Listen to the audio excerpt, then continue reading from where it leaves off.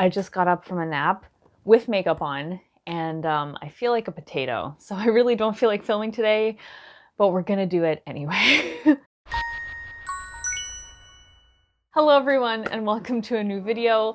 A lot has happened today. Today I woke up at 6 a.m. for a photo shoot and then I did said photo shoot and then I went and got my second dose of the vaccine. Then I napped for a little bit and now I'm filming and I feel absolutely exhausted. I feel kind of like a potato, but we gotta, we gotta film the video. We gotta make it happen. So here I am. So it's been quite the day today. And now we're gonna do another thing, which is obviously make this video. So as you guys have seen, I've been making videos where I take pre-made cosplays and I alter them. Um, this is because I, obviously I, I figured that it would be you know, a fun and helpful video um, for a lot of you watching. But the other reason is because I've been mostly buying my cosplays over the past year. And that's because the pandemic really killed my motivation. So I haven't had the motivation to make things from scratch until today. So I thought I would take this opportunity to make a video where I document the process of me making a cosplay from scratch, walking you guys through the process, and that that will hopefully be a helpful video for some of you guys. So I'm um, very exciting. We're doing something new today on the channel and I'm gonna gonna do my best to make it as interesting and informative as possible, but obviously I'm still new to this kind of video, so it, it might take me a little while to dial it in, but I've been watching a lot of Rachel Maksy, who I absolutely love, and I've been trying to take notes from her videos. Hopefully I will do an okay job on this video. Um, the cosplay in question that we will be making today is, I realize, a very obscure cosplay. It's not one that a lot of you will probably recognize, so I don't know how helpful this video will be. I'm really talking up this video as you guys can can tell. I'm really I'm really selling it. The character that I will be cosplaying for this video is Emmy Altava from the Professor Layton series because during the pandemic, a lot of people have been joking about how the pandemic makes you kind of revert to doing things that you did when you were a teenager. And for me, that's been revisiting the Professor Layton series. So I've been playing the prequel games because I, I only ever played like a quarter of the first prequel game. Um, so I've been going back and playing all the prequel games because I never played them before and I'm gonna then move on to the original set of games. So obviously playing the prequel games, Emmy is one of the protagonists and she's badass and I love her. So naturally I felt the need to cosplay her. I actually did cosplay Flora back when I was a teenager and I do intend to cosplay her again, but for right now the cosplay is over at my dad's house so I don't have access to it. So I figured in the meantime I would cosplay Emmy and let that kind of be my, my proclamation that I love Professor Layton. Let that be my way of, of showing my love for Professor Layton and then a little bit down the road when I eventually get my Flora cosplay back, I can then cosplay her. So that's the plan. So anyway, I'm gonna be walking you guys through the process of me making this cosplay. I'm really sad that people don't talk about Professor Layton anymore. Like a lot of people talked about it during the 2010s, but nobody talks about these games anymore, which I think is such a shame. So I hope that like making this video and making this cosplay will kind of invite people to to nerd out and talk about Professor Layton again because not enough people talk about the series uh, anymore. So anyway, I'm rambling a lot. I'm going to give you guys a quick look at what I got. I didn't get very much because it's a pretty simple cosplay. So the first thing I got is this um, yellow cotton, very nice. Um, then I also got some thread, naturally, gotta have your thread. I also got some buttons. So her jacket has um, one big button at the front, so that's what I'm going to use that for. I also thought it would be nice to put buttons on the cuffs. She canonically does not have this, but I thought that would be a nice kind of personal touch to add to it and would kind of add some more depth and dimension to the design. So that's what these smaller buttons are going to be for. And then I got a whole bunch of clasps. Oh, oh my gosh, they're they're they're going any, everywhere. Um, I got a whole bunch of these clasps to put at the front of the jacket as my closure. I didn't know how many I'd need, so I just grabbed a whole bunch of them and hopefully that will be enough. I'm sure it will be enough. Um, so anyway, that's the plan. Let's get into it.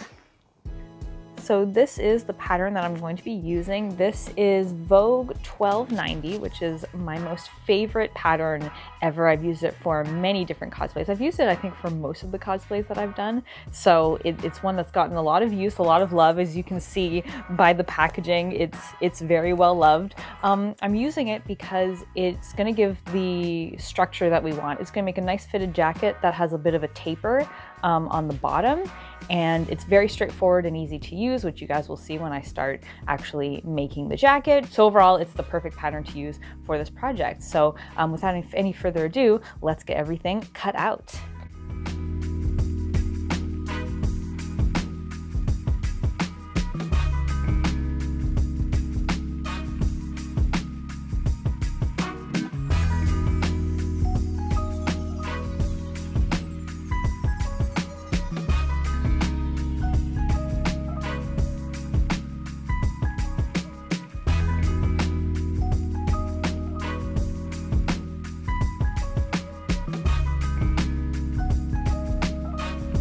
Okay, so now I am cutting out the front piece.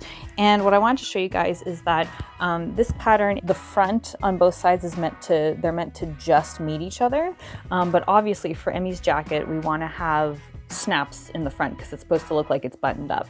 So what I'm going to be doing is I'm going to be extending this piece not not up here, but down here where the two pieces are going to meet. I'm going to be extending this piece a little bit forward here when I go to cut it out so that they'll um, overlap in the front rather than just meeting each other in the front. So that's one major adjustment I'm going to be making to this pattern.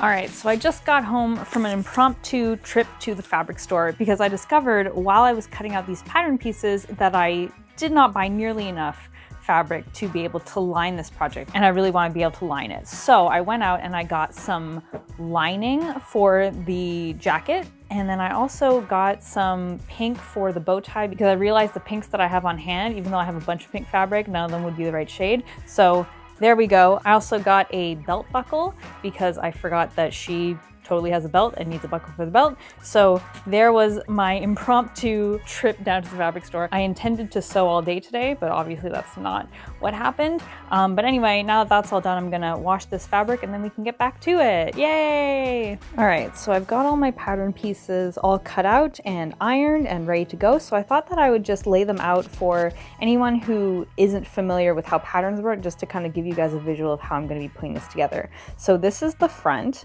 this is the side side front, this is the side back, and this is the back. So I'm going to be sewing all of these together in this formation, and then the two shoulder pieces, so this piece here and that piece there are going to be sewn together. So all together, it's going to make the jacket. And then from there, I can put the sleeves in. And yeah, so uh, without any further ado, I'm gonna go and pin everything together and then I can get sewing.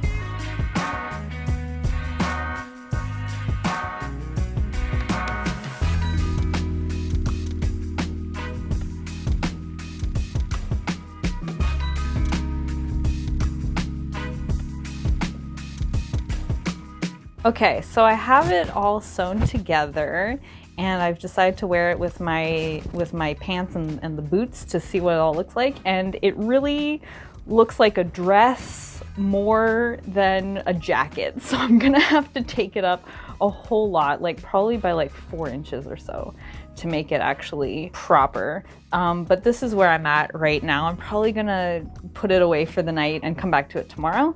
Um, but for right now, that's where we're at. That's that's what I've done. I'm very happy that it's too long rather than too short. I did obviously cut out the pattern shorter than it's actually supposed to be, but it wasn't short enough, which is obviously better than it being too short. Um, but anyway, my next step is gonna be to cut it down uh, to make it more like a jacket rather than a dress, and then we can go from there. So after I cut down the jacket, I then started on the lining. So for this, I just cut out the same pattern again, just in my lining fabric, and then made basically a duplicate of the jacket. Then I took that duplicate and pinned it right sides together to the actual jacket. I sewed everything together, then I flipped it inside out at the sleeves, gave the whole thing a really good pressing, and then I top stitched everything.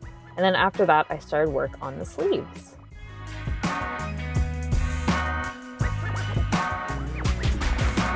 All right, so I've put on the sleeves. There they are. And on the other side, there we go. Um, honestly, it looks real janky. This whole jacket is looking so janky. Um, as you can see, I have some puckering here, which I'm, I'm gonna try and fix, obviously, but like the sleeves did not go on very smoothly. Like this one's puckering really, really badly. There's excess fabric, and I don't know if that's the fact that I just lined it the wrong way. Like I feel like I'm still new to lining things, and I feel like I did it the wrong way. So there's like extra fabric in certain places. It's looking real janky is basically what I'm getting at. I don't know if that's just me being self-critical or if it genuinely looks bad. I'm sure people will totally let me know in the comments. Um, please be nice to me. So anyway, I'm gonna try and fix that. Next, I'm gonna work on the collar and I'm gonna try putting the collar on and I'm gonna see if that makes everything look better, which it probably won't. Anyway, point is, sewing is definitely a learning experience. So this is just gonna be a learning opportunity for me and that's just how it's gonna go. So anyway, I'm gonna get to work on the collar.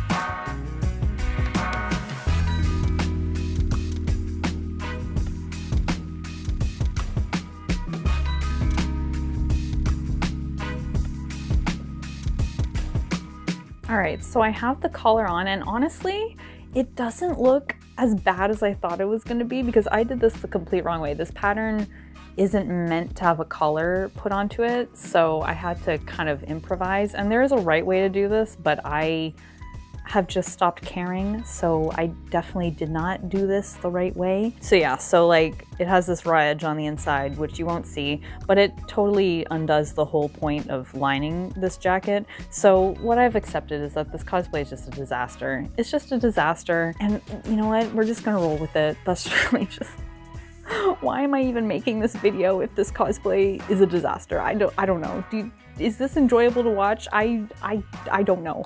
Um, but anyway, we're we're on the collar now. Um, I need to fix the sleeves still, and then I'm going to move on to probably putting on either. Well, you know what? I think I'm gonna make the belt next probably because I feel like the belt is really gonna save a lot of the problems with this cosplay. Um, but anyway, short version of the story, this cosplay is a disaster. I've just accepted that and that's just, that's just what we're dealing with right now.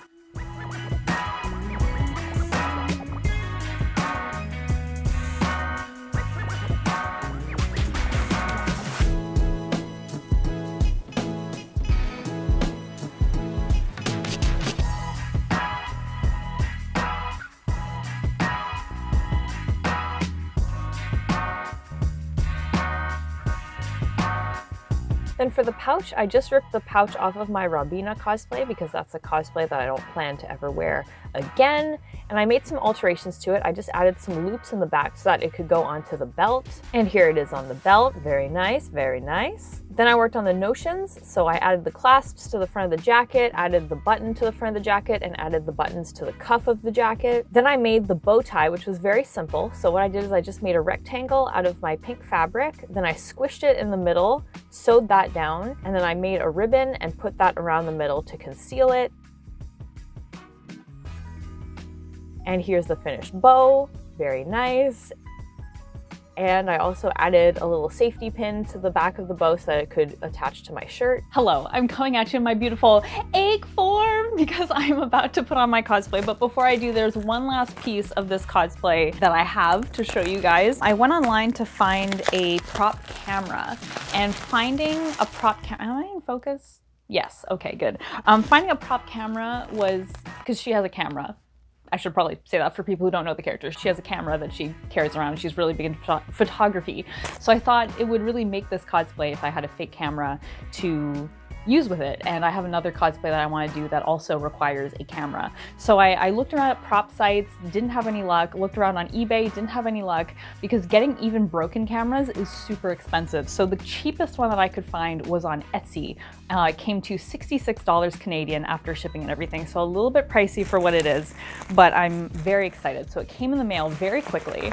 Um, I'm really impressed with that. And we're just gonna un unbox it here today. Ooh, oh, this looks, I'm really excited. Oh my goodness. Here it is. Oh my gosh, look at that. wow. So yeah, this is this is a broken camera. It obviously just like does not work anymore.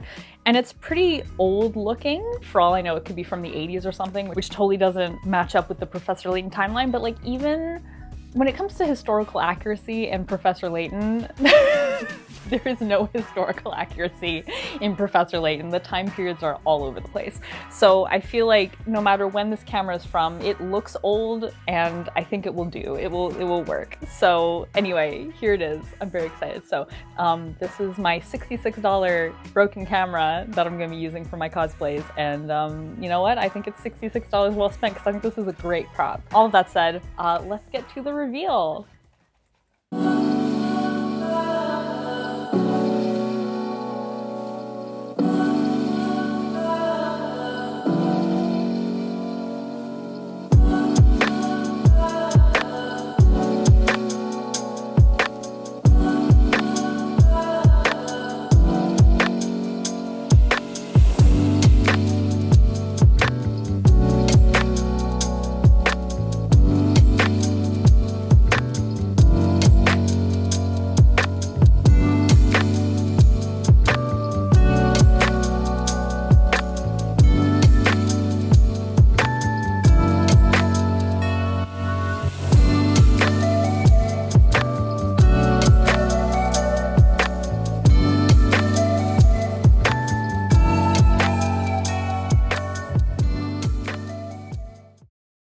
Right, so wrap up thoughts on this cosplay. I just want to point out that I am filming this outro six months after I actually finished this cosplay because making this video was very daunting for me um, just because I thought it would be a lot of editing and a lot of just like, I don't know, just documenting the cosplay creation process has always been a very daunting like thing for me. Um, but it actually, I, like I've started editing this video before I've, I'm filming this outro and it's actually come together very easily. So I'm definitely gonna be doing more videos like this and they're not gonna take me six months to make yay.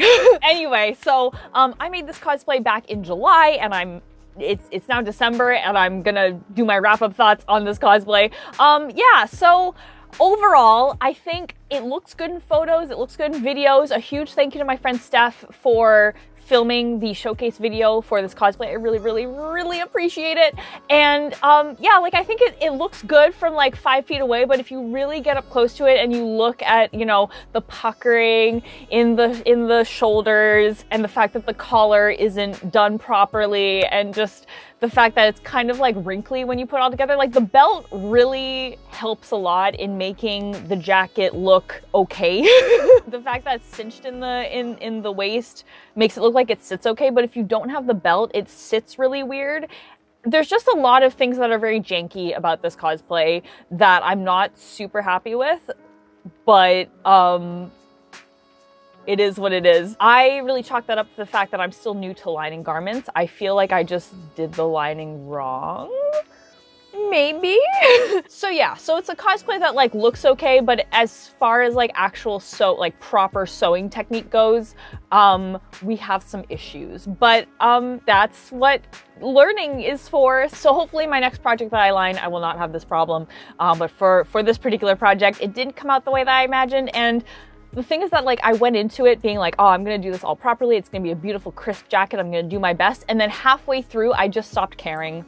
I just like I was so over it by by like halfway through. So there's that as well. Sometimes cosplays are like that. Sometimes you go into it being like, oh, this is gonna be beautiful, absolutely gorgeously made, and then you come out of it being like, I couldn't care less. Um, so anyway, those are my wrap up thoughts for this cosplay. I also just want to say that, um, like I've posted photos of this cosplay and this cosplay particularly blew up on TikTok. Oh my gosh. I had a, a video reach like 45,000 views and it, and like 400 comments and it was all people being like, oh my gosh, it's Emmy. I love Professor Layton. And that just warms my heart so much that people like, remember Professor Layton and they like my Emmy cosplay. That means so much. So thank you guys like so much. If you're one of those people who saw my TikToks, saw my Instagram posts and were like, oh my gosh, it's Emmy. I love that. Thank you. You made my you made my summer basically um, because my whole summer was just me being obsessed over Professor Layton. So like that really like made my summer. So thank you. I really appreciate it. Um, hopefully there will be people in the comments of this video being like, hey, Professor Layton is awesome. Um, if you're one of those people, please leave me a comment and we can chat about Professor Layton because I would love to do that. I would love to just geek out with you guys over Professor Layton. So good. I'm finally almost done. Well, I think I'm almost done. I hear that the ending to Azran Legacy is a whirlwind. So I don't know if I'm actually at the ending, but it feels like I'm near the ending. Anyway, I'm finishing up Azran Legacy right now. I got a really bad spoiler for it, so I'm not happy about that. But um, I am going to be basically over the holidays working on finishing up Azran Legacy, and then I can move on to the prequel games, and then I can hopefully do my Flora cosplay. So anyway, I'm just yammering on about Professor Layton at this point. Anyway, I hope this video was, was entertaining and that you could take some things away from it. I will definitely be making more videos like this in the future. Right now I'm working on a Bungo Stray Dogs cosplay that I'm going to be documenting the process of, so look out for that. Yeah, thank you so much for taking the time to watch. I really appreciate it. If you're new here and you'd like to see more videos like this, I put out new videos every Sunday and it would be awesome to have you here, so please consider subscribing. Uh, yeah, thanks for hanging out with me as always, and I really appreciate it. And I'll see you guys all next time. Until then, pinch faces, please be sure to take care. Bye! Bye!